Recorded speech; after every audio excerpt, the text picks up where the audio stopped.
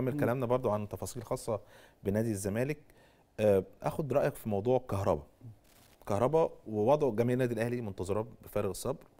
في نفس الوقت في كلام عن إن هيكون في تأييد لكهربا في القائمة الخاصة بكأس العالم للأندية للنادي الأهلي في إن شاء الله فبراير. طيب خليني أقول لك إن الناس كلها بتتكلم في موعد مشاركة كهربا تمام. كهربا نفسه مش عارف يلعب إمتى. الأهلي الأنباء اللي خرجت عن قيد كهربا في قائمة كأس العالم للأندية الاهلي عايز ياخد confirm من الفيفا.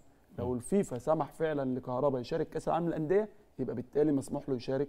محليا. فبالتالي ده هيبقى مخرج بالنسبة للنادي الأهلي. في كل الأحوال كهربا مش هيشارك مع النادي الأهلي غير بخطاب رسمي جاي من الاتحاد لأن النادي الدولي. الاهلي مش هيخش في risk.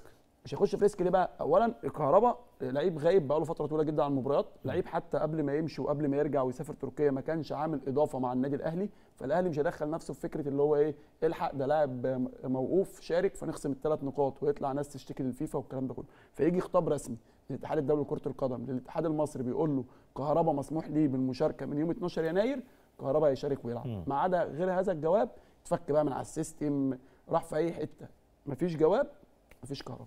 حتى آه يعني انت بتقول مهم جدا الجواب. الاهلي الأهلي مش هيخش risk لأن الأهلي مش هيحمل نفسه أي حاجة في موضوع كهرباء. حتى ده كان باين من أول يوم اما حط له البند وقال له إحنا ملناش دعوة بأي مشاكل أو أي غرامات ناتجة عن تعاقداتك السابقة. مم. فبالتالي الأهلي مش هيدخل نفسه في أي risk مم. لأن أنت أي risk بتدمر مجهود جماعي. يعني تخيل كهرباء شارك في ماتش يعني أنت وجه بتقولي الفيفا كهربا كمان مش عارف أي تفاصيل. ولا حد عارف ولا المحامي. بتاعه. ولا المحامي ولا المحامي بتاعه عارف حاجة. خد بالك المحامي اللي ورطه بالمناسبة.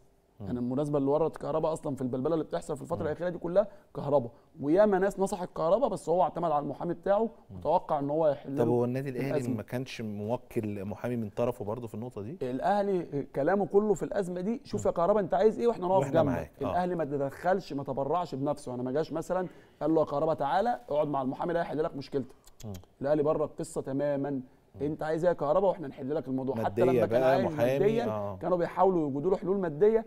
بس الأزمة المالية مع ارتفاع سعر الدولار مع اللي بيحصل داخل النادي الأهلي خلى إن. في أزمة مم. كبيرة مع قرار إيقافه. يعني الأهلي كان كان متوسم إن هو يقدر يطلعه إعارة مثلا بمليون أو أو 900 ألف دولار أو ايا ما يكون الرقم.